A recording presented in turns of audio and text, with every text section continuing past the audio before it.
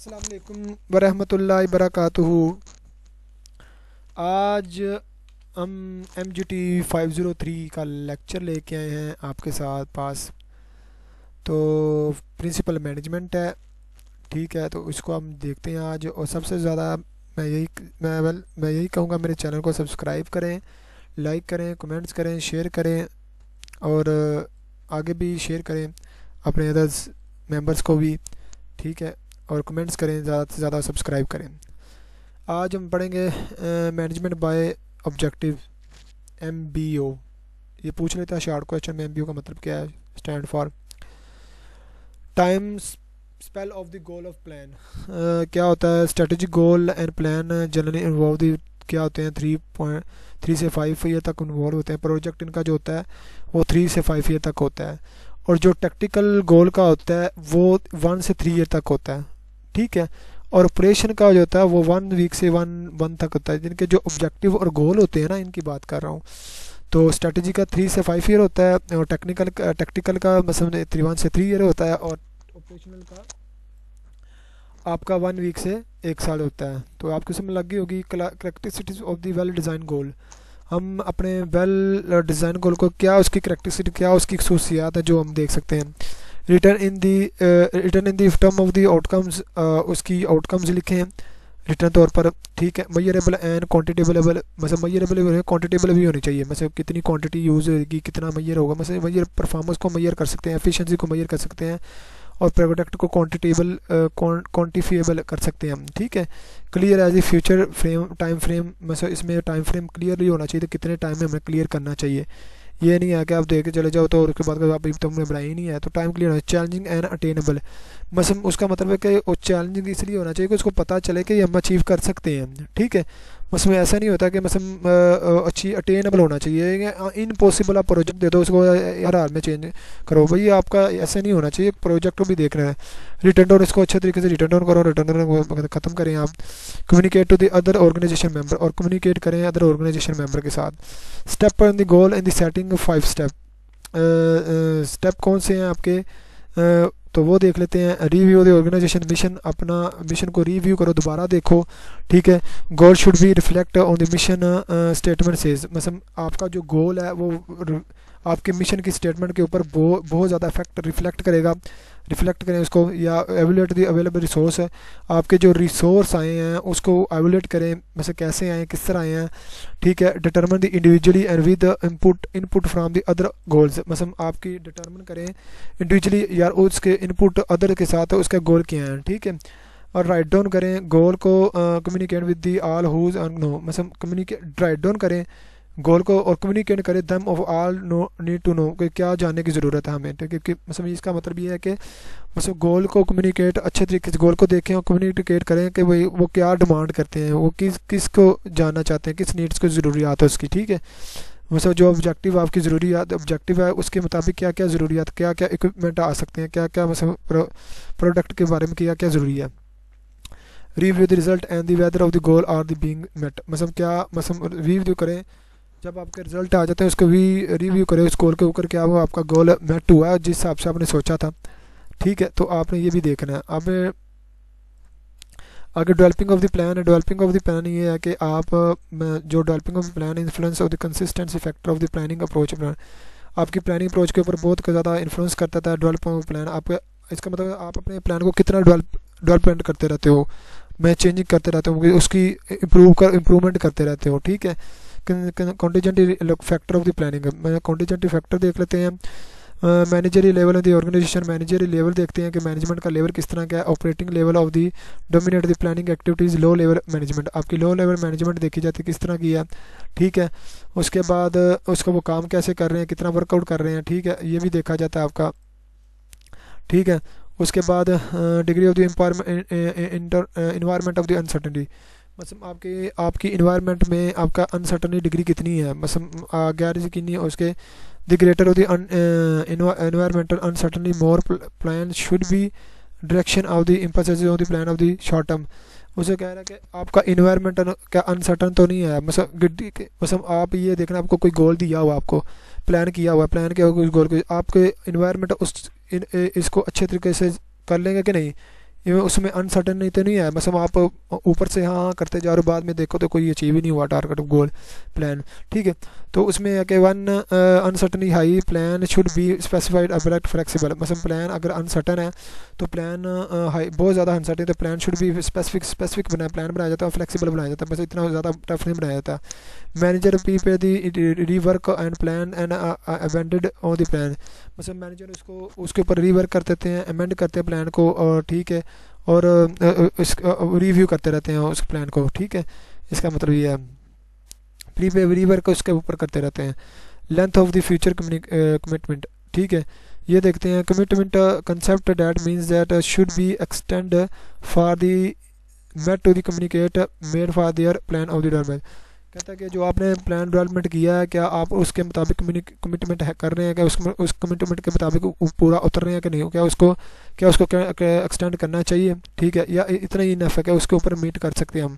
बस आपने आपने प्लान एक बनाया ठीक है, आपको कहना है कि यार आपको ज़रूरत है एक्सटेंड करने की तो आप कहते हैं कि यार हमें इतना, इसको एक्सटेंड कर दो टाइम वाइज ठीक है अगर आप उस टाइम से पहले कर लेते तो अपने कमिटमेंट को पूरा कर लेते हो तो उस कमिटमेंट को आपने देखना होता है।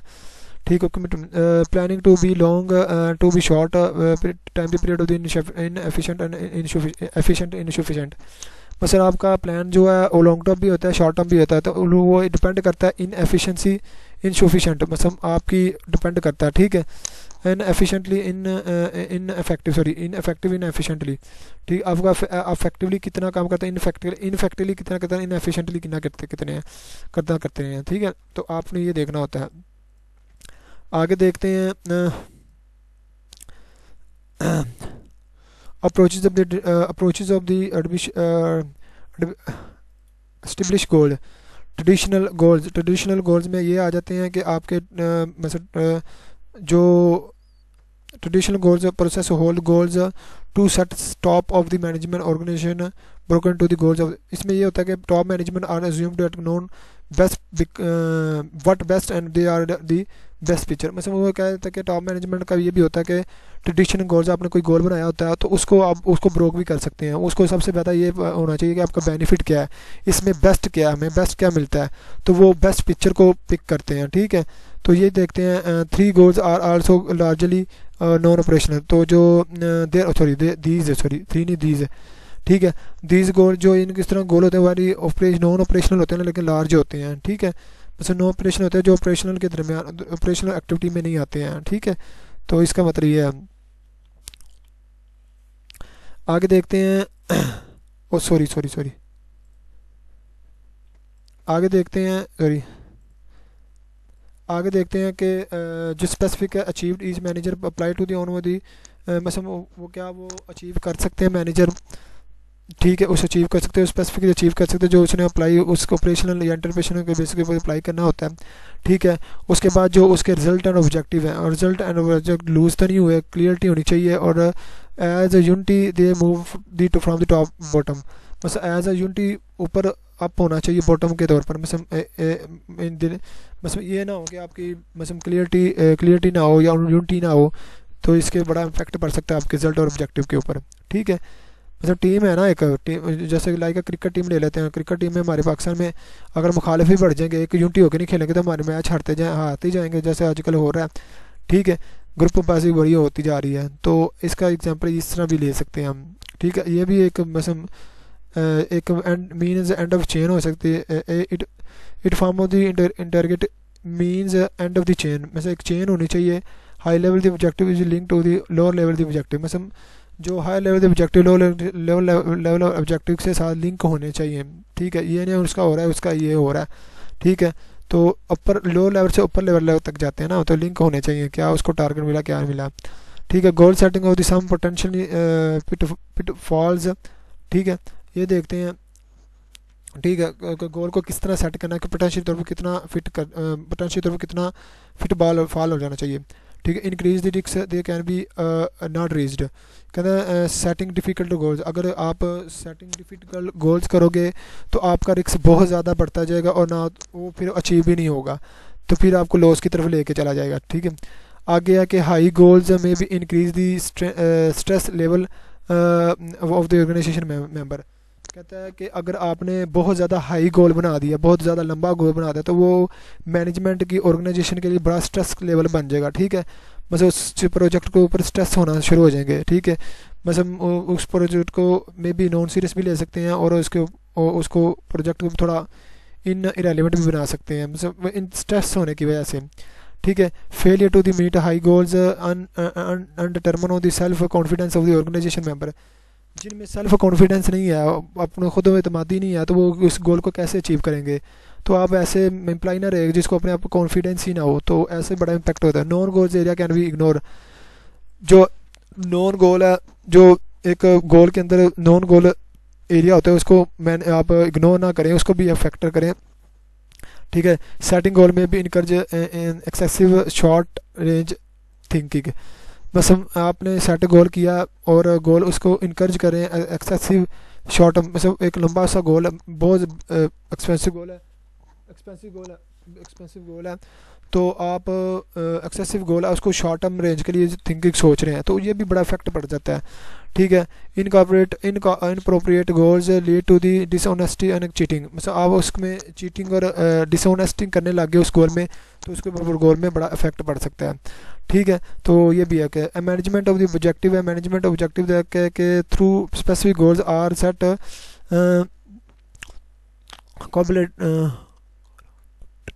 collaboratory for the organization whole and every unit individually used uh, within it the goal that uh, used to this basic आइए इधर से कर लें कि goal then uh, are used to the basic planning managing or uh, operational activity Assessing the rewarding of the contribution मैं इसका कहने का मतलब तो ये गोल्स प्लानिंग के लिए अप्लाई किए जाते हैं मैनेजिंग ऑर्गेनाइजेशन की एक्टिविटी को अप्लाई किए जाते हैं, ठीक है, उसके ऑब्जेक्टिव को अप्लाई करते हैं असेसिंग करते हैं और रिवार्डिंग मैंने कंट्रीब्यूशन मतलब वो, उसके ऊपर रिवार्डिंग कंट्रीब्यूशन करते हैं, ठीक है?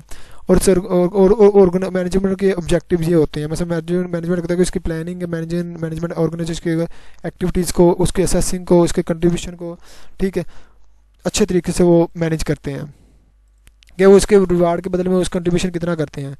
ठीक है एम बी एफ़ ये भी है कि, ये भी देख लेते हैं M B Q O management by objective Peter Drucker consist of the four element तो ये एक रेटर है, या एक बिज़नेस के बारे में इसने लिखा हुआ था।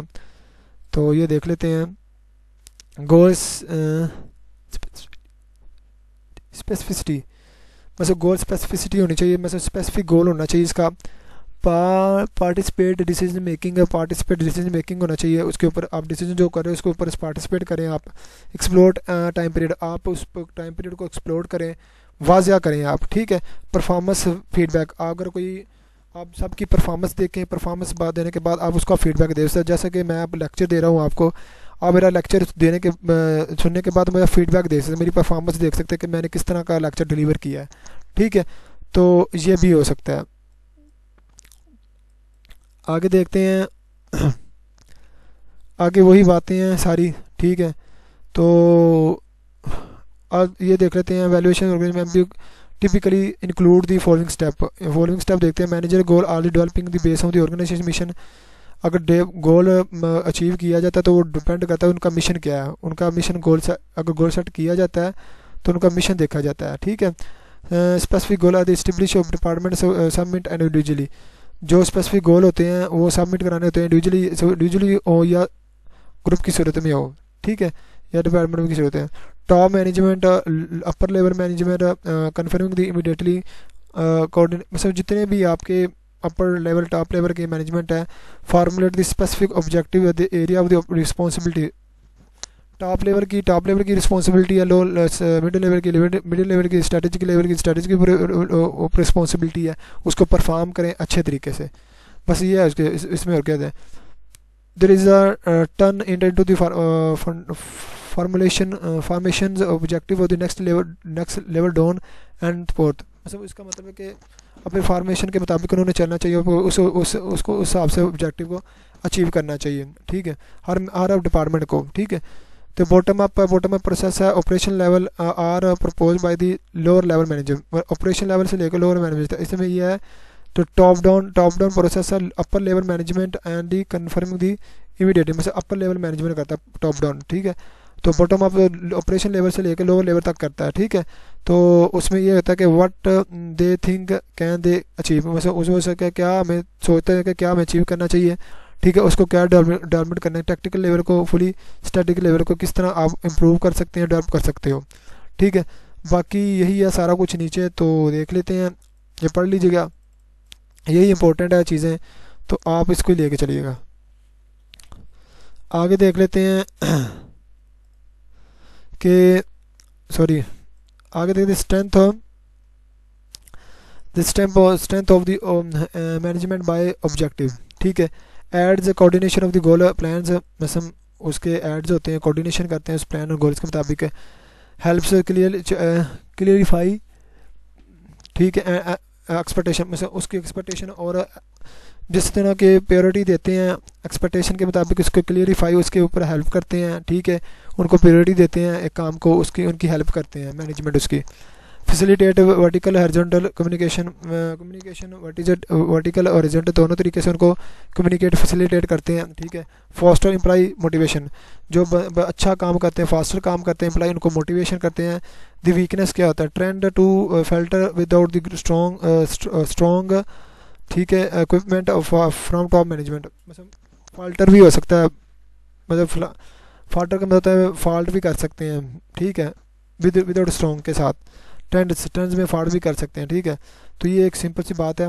Necessities considerable training of management तो उसको ये होता है कि इनको जो ज़रूरी ट्रेनिंग होती है मैनेजमेंट के लिए नेसेसिटीज़ जो ज़रूरत बहुत ज़्यादा होती है, उसको कंसिडरेबल करना चाहिए। बड़ा, ये एक बड़ा एडवांटेज है। कैन बी क्या ये समझ नहीं आ रही क्या लिखा हुआ है। मिस मिस समझ नहीं आ रही इसमें। नज़र नहीं आ रहा लाइन अभी इसमें थोड़ी सी। Misuse sorry can be misuse as a device है। पेंटिव डिवाइस ठीक है। तो मिस uh, यूज़ कर सकते हैं पेंटिव डिवाइस का वो कैंस को यूज़ कर सकते हैं मिस यूज़ कर सकते हैं। मैं cause over emphasis of the quantitative goals मतलब और फेसिस कर सकते हैं क्वान्टिटी गोल्स के ऊपर उसकी काज वजूहत बन सकते हैं मैनेजमेंट तो ये इसके फॉल्ट हैं जो एम बी ओ कर सकती है, ठीक है? तो ये है कि इस आज का लेक्चर यही ख़त्म करते हैं। तो ये देख लेते हैं in practice of M B O has been successfully only twenty twenty five percent of the time मतलब twenty twenty five percent time successfully करती है primarily because of the lack of the supported from the top management और पूरे management वो किसकी वजह से हुआ है? इतनी परसेंट क्यों परसेंटेज हो गया टॉप मैनेजमेंट और लो लेवल की मैनेजर की स्टैटिक कम्युनिकेटिव स्किल्स की वजह से। ठीक है तो आज का लेक्चर इधर ही ख़त्म करते हैं। थैंक यू सो मच ये आपको लेक्चर डिलीवर किया है और मेरे चैनल को सब्सक्राइब लाइक और कमेंट कर दें सब मिलकर। अगर मेरे लेक्चर को और चाहिए तो मुझे कमेंट करें ताकि मैं आपको ज़्यादा से ज़्यादा लेक्चर शेयर कर सकूँ। थैंक यू सो मच आज का लेक्चर यहीं ख़त्म करते हैं। Thank you so much